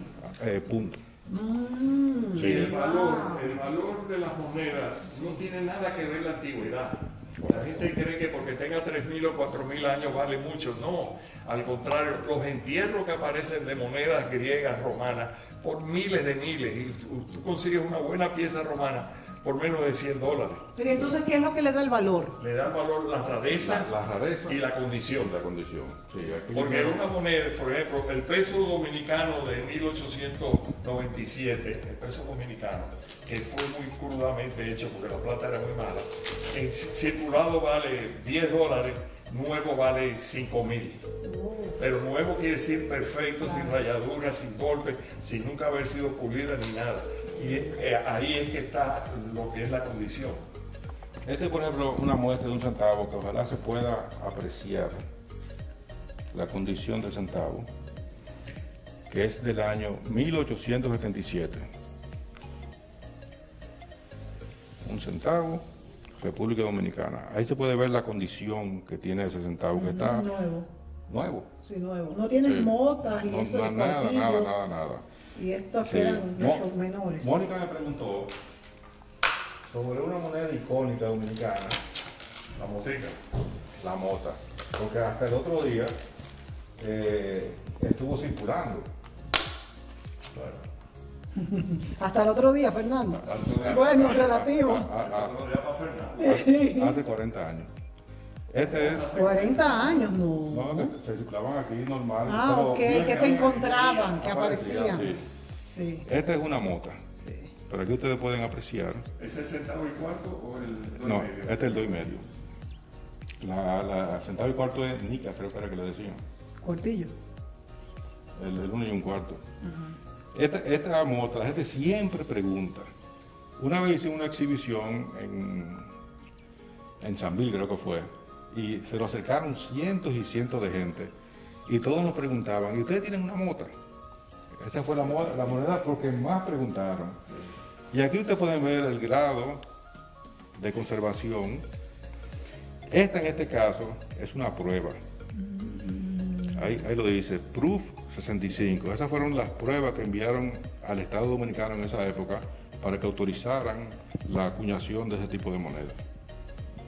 Es una de dos y medio La centavos. hacían con una terminación especial Sí. para que pudiera la plancha y todo, porque como eran una muestra para que lo hicieran lo mejor posible. Sí. Entonces de las muestras siempre son muy pocas las que se hicieron y menos todavía las que se conservan. Yo las que había visto estaban como muy desgastadas. Siempre Sí, están sí, desgastadas. Muy desgastadas. Mi abuela me hablaba de la mota y por eso yo siempre he tenido curiosidad. de, eh, de de billetes. Para que vean las bellezas que se hacían de billetes. Este, este es de Venezuela, por ejemplo, Banco de Carabobo. Y esto es de 1880. Claro, no circulaba así, pero yo no me imagino en qué llevaba la gente esto. Exacto, Aquí esto tan grande. Aquí hacían una cosa curiosa. La cortaban, pero no la cortaban recto, la cortaban, hacían así. Y cuando tú lo llevabas al banco a que te, a que te la cambiaran, ellos tenían que coincidir un pedazo con el otro porque, claro, tienen, tienen números. Como un boleto. Esto al ser muestra no tiene número, dice 000, pero el corte que era muy interesante se lo daban así y con eso comprobaban que eran buenos, pero eran bellezas, bellezas estos billetes. Ahora, aquí hay algo interesante dominicano. Esta es una prueba de unos billetes del Banco Nacional de Santo Domingo. El Banco Nacional de Santo Domingo siempre ha tenido mala suerte. Creo que han habido tres y los tres han quebrado. Entonces, este fue el segundo banco, pero este tiene algo muy interesante. Fíjense que dice un peso, one dólar. Sí, claro, en aquella época. Y hay otros que nunca he conseguido el billete, pero sí he, te- he tenido la fotografía, que es al revés, decía one dólar, un peso, y así en todas las denominaciones. Y lo tenían en los dos valores. Para atrás. Para poner este al lado. Que lo, fue la poca cosa que traje. Bueno, esta, esta es terminada, esta es una prueba sin color. Sí, esto es una, esto es una Ah, prueba sí. de color Sí. del billete que se Ese ya es el billete como se iba a hacer, Como a pero hacer. esto es una prueba solamente en blanco y negro, Sí. porque lo que se buscaba era más o menos ver los detalles. Este es otro interesante, este es el Banco de Compañía de Crédito de Puerto Plata, los billetes de Puerto Plata, el billete más bonito dominicano es el de 50 pesos, tienes uno por ahí del de Puerto Plata. Pero ¿cómo que de Puerto Plata? Entonces Sí, cada era- región... Sí, no. Es que había bancos privados. Ah, y cada banco privado emitía sus El billetes. gobierno le daba el derecho de hacerlo. Los bancos, este por ejemplo, este Banco Nacional de Santo Domingo, era este un banco privado. El de la Compañía de Crédito Puerto Plata es privado. Y después le voy a enseñar municipales. También habían de compañías que hacían sus propios billetes y de los municipios. A la muerte de Lili era un desorden total y los ayuntamientos tuvieron que emitir papel moneda por un Y periodo este papel moneda, ¿qué respaldo tenía? Ya que cada banco tenía su propio papel moneda. Todos quebraron. ¿Lo qué? Todos quebraron. Los bancos. Sí, los bancos. Sí, todo. bueno, este no sé si quebró, este solamente se cerró. Que quebró. Ah, Aquí es interesante ver también, eh, Isaac, una moneda de prueba, no, no circuló, está perforada, y esta es otra prueba también, pero esta viene pegada al cartón donde se pedía la autorización. ¿Dónde Interes- está la perforación aquí? Esta.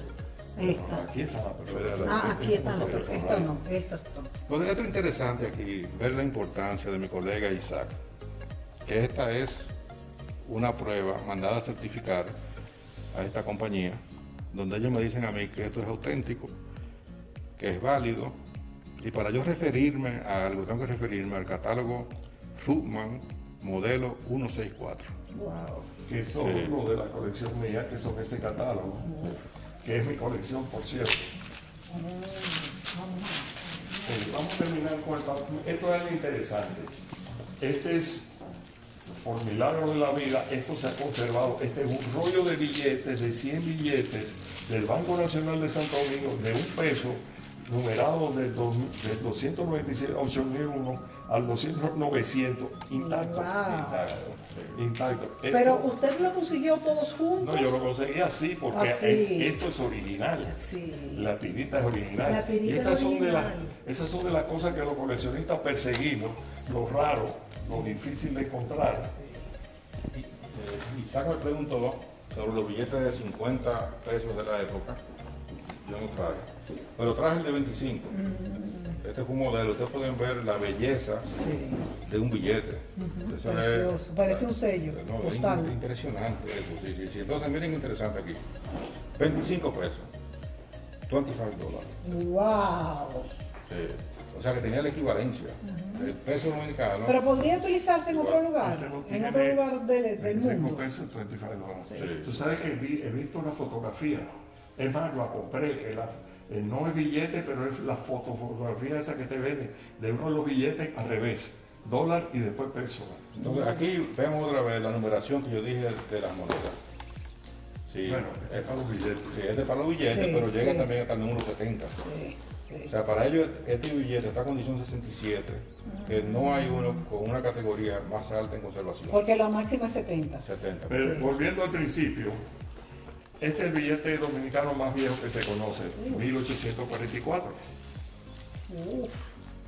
Este, cuando, justo, justo, cuando la independencia, entonces... Sí, está la primera emisión, está la primera serie de billetes, ya la segunda serie, había habido una serie anterior y pasó algo curioso, bueno, curioso no, a propósito, ellos siguieron haciendo con esta fecha por varios años para que la gente no se diera cuenta de que estaban haciendo nuevos billetes, sino que eran los mismos circulares. ¿Por qué? ¿Por qué? Para que la gente no dijera, nos están inundando de papel que no sirve para nada. Claro. Entonces utilizaban la fecha vieja. Pero ya esto era el gobierno. sí, sí, esto es República Dominicana. Claro. Entonces, esta, por ejemplo, son las de 1853 es, bueno aclarar que eso es sumamente difícil. No, esto es, Mire, este, por ejemplo, esta es interesante. Esta es de dos reales y de cuatro reales. Y estas son de. Bueno, esta no tiene fecha, pero esta es estimada. 1845, estimado. Este, sí, 1845, exactamente. Y estos son de los primeros billetes. Miren los tamañitos que tenían. Esto es el libro. Esto es este libro. Esto fue lo que se tardó 25 años en hacerlo y con el amigo Miguel Estrella que se encargó de conseguir el billete que es interesante, 60 pesos. Se encargó de conseguir en los archivos la documentación para el libro. Y, aquí, y, esto, ¿Y dónde consiguió la información? Esto está... Eh, eh, en, los archivos se ha conseguido. Pero en el Archivo General de la Nación, el Archivo de la Nación, también. Eh, muchas de, estas cosas fueron a España, inclusive, y se ha ah, conseguido información. Sí. Mire, estos son interesantes. Estos son privadas. Esta es Ingenio La Fe de J.E. Hatton y compañía. ¿De qué año? 1883. Dos y medio centavos, cinco centavos. Esto también es extraordinariamente raro. Miren los números del billete, número 2, número 51. Estos son los de Hatton. Ahora pasamos a Ingenio La Fe, que, que era, esta es otra segunda emisión en colores distintos. Y ahora viene Ingenio, todo este Hatton que parece que fue muy importante. Ingenio San Isidro. Este es otro ingenio también de los señores Hatton. Es bueno aclarar que todos, este es Hatton y Hernández. Todos estos ingenios era, emitían su billete y su ficha de uso entre ellos. Entre, o sea, no podía salir de ahí. No tocamos las fichas. Sí, sí. O sea, para uso en el mismo ingenio. Le voy a explicar. Eh, como había, en esa época había poco circulante, entonces, y era una forma de explotación, porque le pagaban a los empleados con una moneda que solamente servía en sus tiendas. Por lo tanto, había que comprarlo de ellos y, eso era en realidad lo que pasaba. Estos son de Vicini, Santo Domingo, Ingenio Italia. Entonces era como una pequeña ciudad allá adentro, ellos vendían todo. Sí, sí, eran autosuficientes. Mire, estos son de Vicini, Ingenio Italia, de JB Vicini. Esto es, cada uno es más raro que el otro. Esto es todavía. Este lo conseguí ahora, no está en el libro. Este fue últimamente conseguido. Y este es de Montecristi, mayo de 1888. Circuló por la suma de 50 centavos en el ayuntamiento, que el ayuntamiento garantiza. Mira que dice ahí. Numeración de PSK Unlisted. O sea, que ese es el primero que aparece de eso. Sí, este, este, es el único que no está en el libro. Sí, sí, sí. Eh, Entonces garantiza el valor del, del billete el que lo emite. Que lo emite correctamente. Sí, ellos eran los garantes de los billetes. Algunos de ellos recogieron sus fichas, otros no se sabe qué pasó. Mire, fin- finca, esta es una finca privada, finca Perseverancia. ¿Y qué credibilidad tenían? Bueno, dentro, Porque era dentro de ellos dentro de ellos mismos. Mire, este interesante. Este es el ferrocarril, ferrocarril central, eh, Sueño Bello, eh, Bahía de Manzanillo. Estos eran para usarlo en el ferrocarril, 5, 10, 25 centavos. Y este es de la Samaná Fruit Company. Y cuando ya salieron de, de los límites del de, que lo emitía, como por ejemplo cuando el banco lo emitía, entonces ¿cómo, cómo se hacían? Bueno, es que esa fue una época en que había los problemas. En esa época se utilizaron mucho las fichas, porque el Banco Central, el gobierno no hace moneda hasta 1937. Entonces, todo ese periodo de la muerte de Lili hasta 1937 no había moneda dominicana. Lo que se usaba eran estos vales, fichas, etcétera Y moneda extranjera. y monedas extranjeras. Es que no había, eh, no hubo monedas hasta 1937 que, se, que empieza el Banco Central a emitir, que no fue en el Banco Central, fue el Banco de Reserva. No había moneda el Banco Central no- nacional. el Banco Central no existía, tampoco cuando se hicieron las primeras monedas en el 37. Eh, Esto es interesante, Isaac. Yo quiero añadir algo aquí también. Eh, vale, Santo Domingo, Ferrocarril Central. Ya había un ferrocarril aquí. Iba a Samaná, San Francisco Macorís, a la vista el equivalente a la cantidad de la suma de 50 centavos en su oficina o su almacén. Eh, Es interesante ver la, la moneda del mismo ferrocarril. Desapareció. O sea, hemos visto aquí, señores, en estos pocos minutos que estamos dedicados a lo que son los, los billetes que, que han circulado en la isla, hemos visto parte muy importante de lo que es la historia de lo, económica de la isla.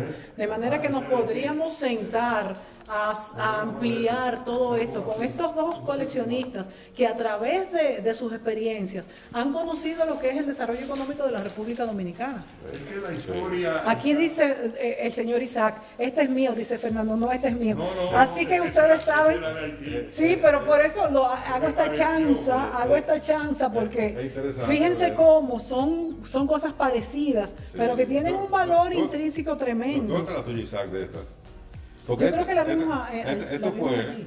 Bueno, eh, no, la que digo ahí es dominicana. Ah, esta es Sí, haitiana. Este es un billete de 10 gold, pero del 1827. Bueno, esa era la ley. 1827. En realidad no era de 1827, sino la, es la ley de Ah. 1827. Y fue por, por mucho tiempo utilizado con esa misma ley. Sí. ¿Y la ley cuál era? Es que uno tiene que aprender historia. Eso es lo que me gusta del coleccionismo. Esto- esto no Entonces, es- ¿cuál era la ley, Isaac? ¿La cual, perdón? Con la ley esta, esta que... No, no, esa fue una ley que, que hizo el gobierno en 1900 1827 autorizando esos billetes. Que y circularon entonces bajo esa ley se emitían estos billetes, pero que no fue un solamente en el año 1827. Eso fue creo que hasta, el- vigente. hasta el 51, hasta 1851. Sientamos la filatelia ahí. Este, Este va a ser en otro programa. Mire, este es un trabajo increíble, porque esta- estos, billetes, estos sellos de aquí venían en una hoja impresa, como el caso de eso, en una hoja impresa. Pero ¿qué pasa? A veces la hoja no aparece. Entonces los coleccionistas locos lo que hacemos es que vamos reconstruyendo la hoja.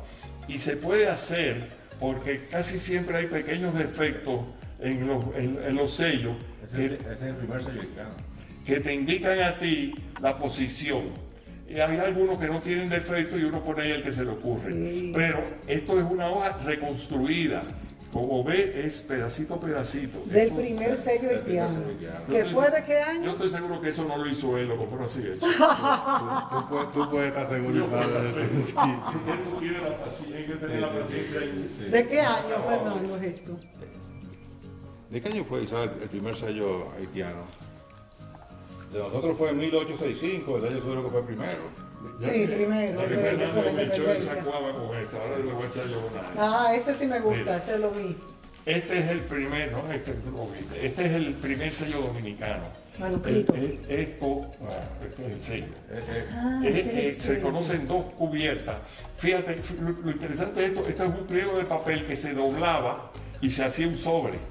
No existía el sobre y tiene la carta adentro. Y esto es de 1868, que es el año en que se imprimen estos sellos. O sea que se compraba el papel. No, tú cogías el papel, escribías tu carta en el Ah. papel, el papel lo cogías y lo doblabas, no lo quiero manosear mucho, sí. pero tú lo doblabas así, ¿ves? Y hacías el sobre. Entonces, Y lo el pliego de papel, sí, y lo pegabas y usabas un laque o algo, ¿ves? Aquí hay el resto de, la, de cómo se pegaba, esto, esto doblaba para allá, esto para acá, y lo sellaba. Vamos a hacer un close-up aquí. entonces, de esto está dirigido al señor general José Hungría Santiago. Santo Domingo, ¿qué fecha es? Porque yo no la veo, pero ellos me la descifraron. Supuestamente es de eh, 4 de enero de 1868. sello. Wow. Y este es un certificado de, de autenticidad de la Philadelphia Foundation, que es la- una organización gigantesca de esto. Esto es rarísimo. Solamente dos cubiertas. Y aquí, La esto es lo que se llama historia postal. Porque una cosa es el sello, que no dice nada. Y, un- y una cosa sí te dice de qué se trata, te dice cuándo salió, a quién fue, cuál era el motivo. Entonces, esto, historia postal, ahora, se, ahora es muy, muy, muy, muy caliente. Antes era el sellito, nada más, la gente cogía esto y le, le recortaba el sello y Sí, la claro, carta. claro. ¿Y Y- esta carta, por ejemplo, de qué se trataba? Esta, mi apreciado amigo, la presente tiene por objeto suplicar usted se haga, me haga el favor de mandarme a Ligorio, a no sé qué, a quien el hombre que hay en la casa para atender a la necesidad de la familia. Parece que un- sirviente. exacto. Este favor se lo estaré, se lo estaré eh, devolviendo. Pues bueno. Era eso quiere decir que... este era un general. Exacto, Ah, bueno, no, no, quiere general. decir que ahí veíamos primero quiénes se carteaban, Sí. el estilo de, No, y- de cómo se hacía la carta, Y, y a qué veces, y a veces hay información importantísima. Sí, inclusive hasta medio secreta. A veces hay muchísima información importante. Esta es otra cubierta, esto es solamente una muestrecita.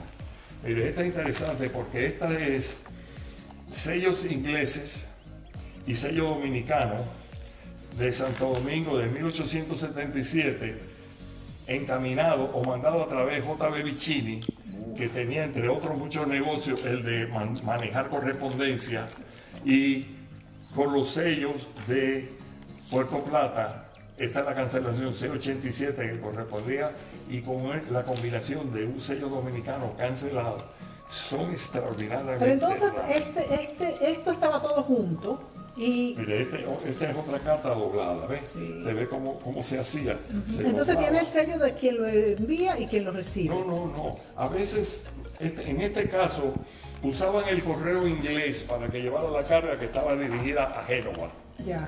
A Génova. El señor este Antonio Canavera, Canavaro, eh, yo, bueno, no lo conocí, pero yo sé que, que eran familias que eran eh, abogados y eran relacionados con los Vicini. Y hay un grupo de correspondencia de los Vicini a ellos, parece que eran abogados que le manejaban sus negocios en Italia.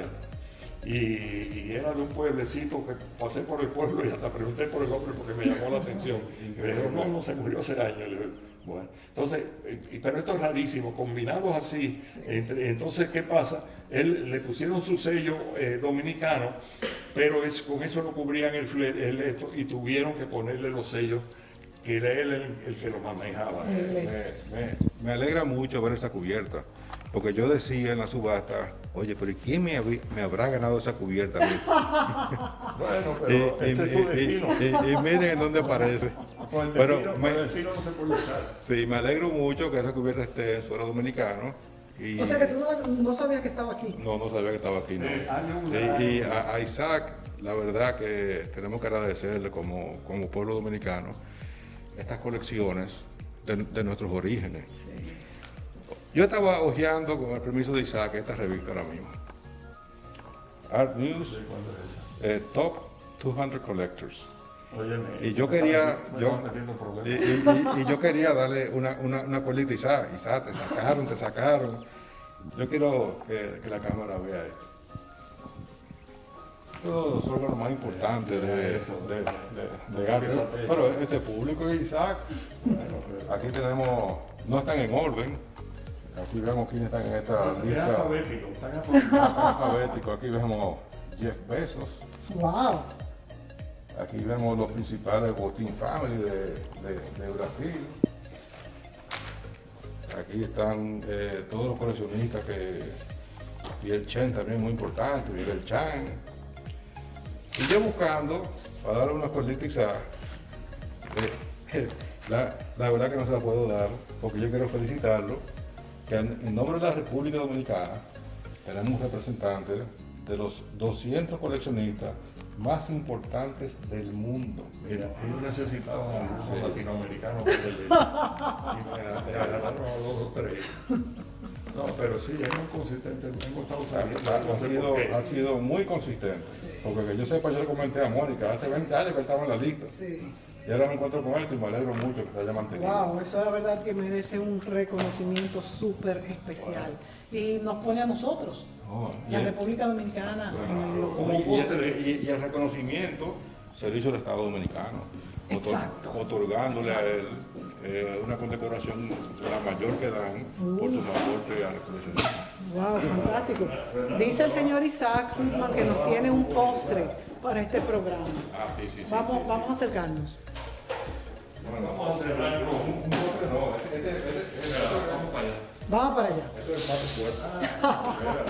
el, el, plato fuerte que lo hemos dejado de. Esta tiene una historia bonita. Vamos a terminar con esta.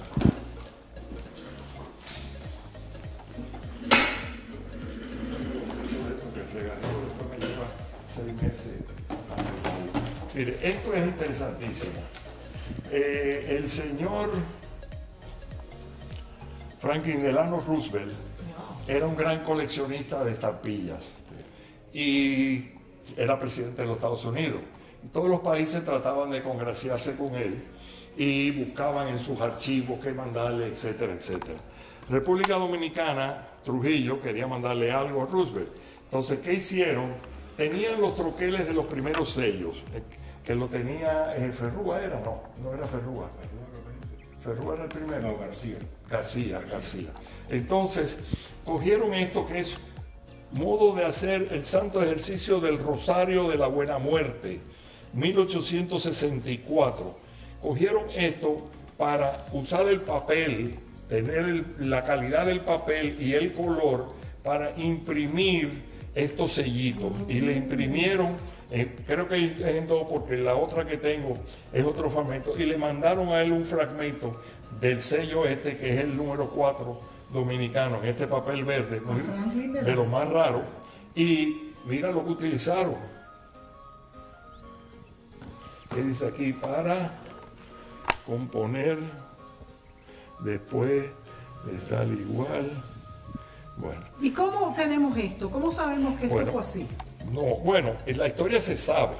Esto se sabe porque hay el otro pedazo que está y estaba en la subasta de él.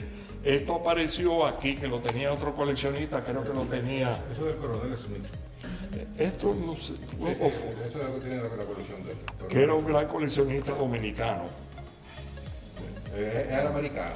Mire, dice aquí cliché número 10, 11 y 12, que son las posiciones de los sellos, cada uno usado cuatro veces para formar un bloque de 12, que fueron usados para make réplicas de, los, de los printing play en Santo Domingo y réplicas are very thin, en un papel muy finito, porque buscaron un papel similar y lo que consiguieron fue esto, de 1864. ¿Y este señor vivía en Santo Domingo?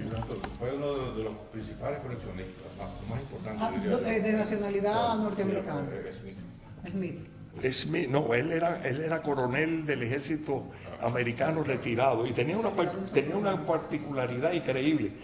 Él era daltoniano, él no distinguía los colores, la mujer era la que le decía los colores y para coleccionar estampillas, la mujer era la que le decía qué color es, porque él tenía un problema de, eso. Mire, para cerrar, tenemos aquí un grupito de cosas de la época de Trujillo. Que interesan tanto. El origen, el origen de la mayoría de estas piezas viene de una casa de empeños de la Florida, donde al parecer la familia eh, dejó perder las piezas. Y las piezas son interesantes porque obviamente si el guillo este dice... es interesante por el día que estamos casi el 31 de mayo, donde el presidente Luis Abinader ha declarado el Día de la Libertad. Aquí se puede ver el dinero del pueblo dominicano en qué era utilizado. Generalísimo, cinco estrellitas, RL Trujillo M. Con diamantes, ¿verdad? Trujillo L.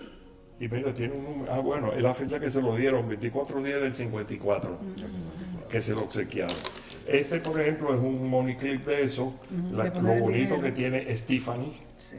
Y tiene, como siempre, los, eh, las iniciales de él y los cinco brillantes. Ah, los siempre cinco brillantes.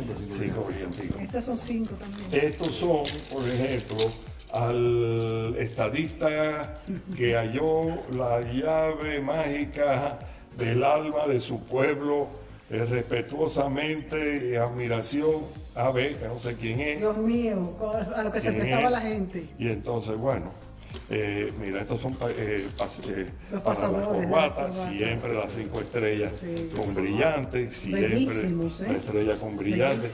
Esto era de, la, de María Molina MM. Este era de la esposa, la madre, la esposa. Sí, sí, sí, de la esposa. Qué belleza. Mire, mire este cinturón. Rafael León Trujillo Molina, las cinco estrellitas, y esto era para el cinturón. Estos son también yuntas, las yuntas con los cinco brillanticos, esta yo me la pongo. Qué bella, ay sí, eran, ¿verdad? Eran dos, a veces yo me la ponía, ahora veo una nada más. Otra más de Rafael Leónidas Trujillo, eh, hasta una cuchillita de Rafael Leónidas Trujillo y el esto. El reloj. Un reloj, Rafael Leónidas Trujillo. Bien, estas son joyas que eran de él sin lugar a dudas. Bien, vamos a... Espérate, que él toma unos close ahí de esa. Espérate, Fernando, antes. Tómale unos close ahí. Eh, eh.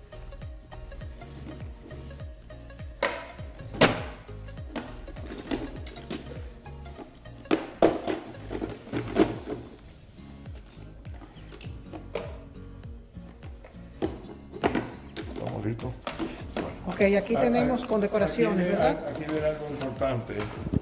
Estas son condecoraciones de Trujillo. ¿Cómo sabemos que son de Trujillo? Por lo mismo, porque tienen, son de oro macizo y tienen todas los cinco brillanticos, las cinco estrellitas con un brillantico engarzado. Esta inclusive dice que es de él. El Congreso Nacional de la República Dominicana al, al generalísimo doctor Rafael Leonel Trujillo Molina, benefactor de la patria, bla, bla, bla, bla, bla. ¿Ninguna otra este, condecoración tiene así cinco brillantitos y... no, no, las normales no. No, Dios libre. Dios librara. Entonces, estas, esta, por ejemplo, esta es la orden del benefactor. Nada más era de él. No era él de mismo se la da. Sí, bueno, es que esa era la orden de él. Y esta era valor excepcional mérito militar también. No he visto Estos son nunca, brillantes, ¿no? Nunca he visto ninguno que, que, le hayan dado. Estas dos nada más usaba él. Y se ven en las fotografías. Esta ya no, esta sí, y te ve, y como volvemos, repetimos con los brillanticos, esta es la, esta es la orden de Trujillo que esta, esta, era, esta era militar. Que también tiene los cinco brillanticos. Sí, sí, sí, e, eso es lo que te lo dice. La provincia de Valverde, el benefactor de la patria y padre de la patria nueva, eh, medalla de valor a la gratitud, en 1931, 3 de mayo a, 1961, por 30 años. Bueno, esta es interesante. Déjame llevar algo aquí interesante aquí que dice 3 de mayo de 1961. A los 28 días lo mataron. ¡Wow! Sí. Ajá. Lo cerraron. Sí. Mira, esta es interesantísima. Esta la, esta la hicieron las mujeres. ¿Ves? Esta dice aquí. Eh, ay, mira, la más importante se me quedó en la bóveda, que es la, la grandísima. Eh, las damas de la República Dominicana a su gran presidente generalísimo, doctor Rafael Trujillo Molina. Este de las mujeres en 1938.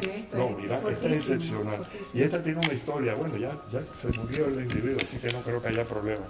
Este fue un individuo que le daba el servicio de los aire acondicionados eh, en la casa de madera, en la casa de Caoba. Y entonces se muere Trujillo y le deben un dinero. Y el tipo dice que iba a la casa de Trujillo, seguía dando el mantenimiento y tenía puesto todas las medallas y cosas. Dice, déjame cobrarme. Se llevó esta. Vamos a hacer un close-up aquí. esto. bueno, se cobró bien, ¿verdad? Se cobró, bueno, se llevó una bonita por lo menos. Sí, por lo Le- menos. Yo le dije, ¿por qué no te la llevaste toda? ¿Y qué dijo?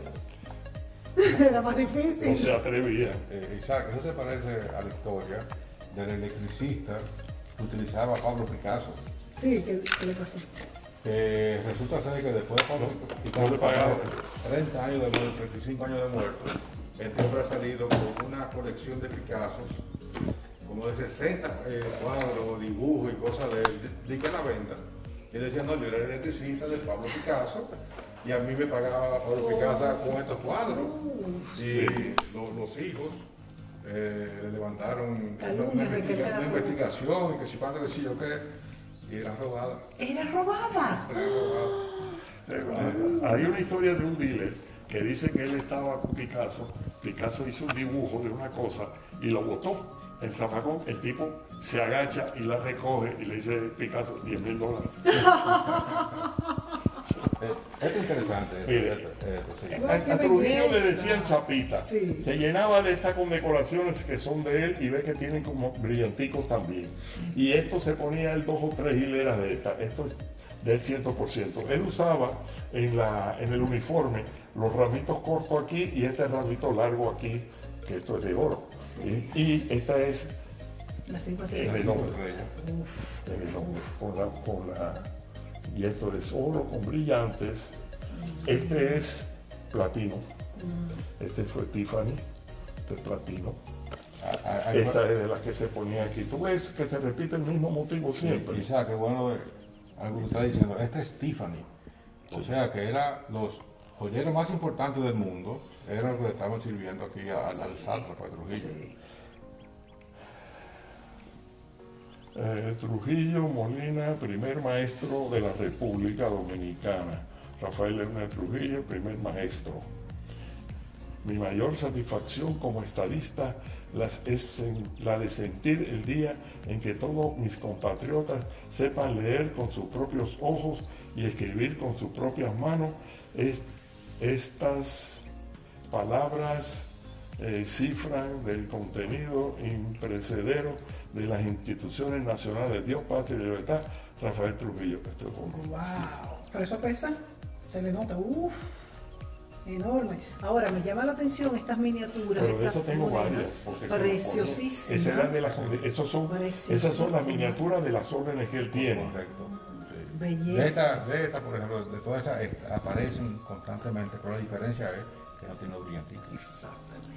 Sí, no, no, y las miniaturas son bastante difíciles.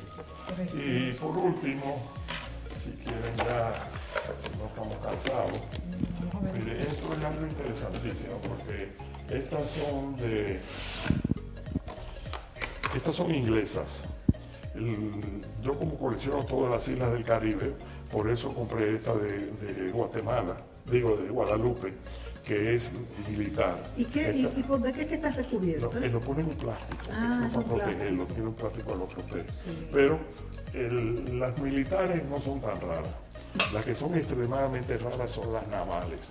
Y esta naval, que ves que es totalmente distinta, esta fue dada al vicealmirante que mandó la flota que en la bahía de en Manzanillo, creo que fue, derrotó a, la- al- a los franceses, la destruyó y, esto, y en los ingleses, pero fue aquí en Santo Domingo.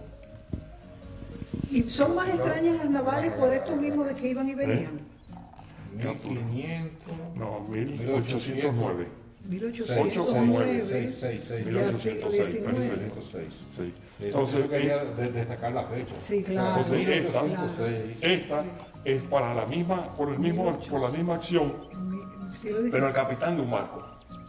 El Atlas, uno de los barcos que estaba, el Atlas, capitano, eh, His Majesty Ship Atlas. Entonces, que es lo interesante de dos de estas, Y esta, por ¿Pero eran batallas navales? Sí, batalla naval de una batalla naval, sí, que ter- terminé, acabaron con la tropa, con, la, con los franceses. Y tú ves, esta te dice en Santo Domingo. Igual 1806. Esta es la misma acción, pero esta te dice en Santo Domingo. Y esta, por ejemplo, tiene varias acciones. Esta es interesantísima porque esta tiene eh, servicio de barco desde mil... 7 de julio de 1809, Santo Domingo, Trafalgar y. Copenhague. La de Trafalgar. Pero también Copenhague. También No, Copenhague. el tipo estuvo presente en esa En las batalla, dos batallas. porque le daban, en- le daban una tirita de esta por cada batalla. Y O sea que fíjense, a ver si lo enfocamos, cada tirita de esta, sácala Fernando ese, eh, se le daba por una batalla. Sí, cada bandita de esa de plata y decía qué batalla se había estado el individuo. Hay algunos que han estado, tienen siete y ocho batallas distintas. Y la, en Trafalgar y en la Copenhague. mayoría, como eran barcos y no, no estaban en muchos lugares, no duran, tenían una o dos. Ese, por ejemplo, nada más tiene una que dice Sí, Santo Domingo. Santo Domingo. Exactamente, señala Fernando. Sí, esa aquí- Esta nada más tiene una y dice Santo dice Domingo. Santo Domingo. Bueno, yo creo que- Interesantísimo, bueno, darle las no gracias, darle las gracias al coleccionista Isaac Krugman por per- permitirnos venir aquí a desempolvar todo esto, cuestiones valiosísimas, a Fernando Báez también por, estar día, aquí acompañándonos y presentando parte de su colección. Y vamos a seguir con esto. Esto me parece sumamente interesante, cómo vincular la historia de lo que vivimos hoy en día a través de todos estos objetos muy valiosos que cada día valen más. En otra ocasión hablaremos cómo la numismática conserva mucho su valor, qué pasa con la filatelia, con los sellos, qué pasa con la pintura y qué pasa con los otros objetos coleccionables. Sí, coleccionen que es bueno, eh, le ahorra eh, problemas del corazón y de, eh, etcétera. Eh, te da esparcimiento, te libera la mente te- y haces algo realmente útil. Y siempre ha sido, todo esto fue comprado cuando era baratísimo, hoy ni sé los precios que pueden tener las cosas, pero porque todas estas cosas, mientras más raras, más suben de valor.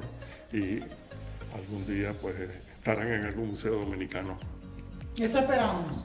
Yo quiero darle las gracias a Mónica por el, para mí lo principal de un coleccionista es poder enseñarle a quien no tiene acceso a todo esto, lo que están viendo ahora.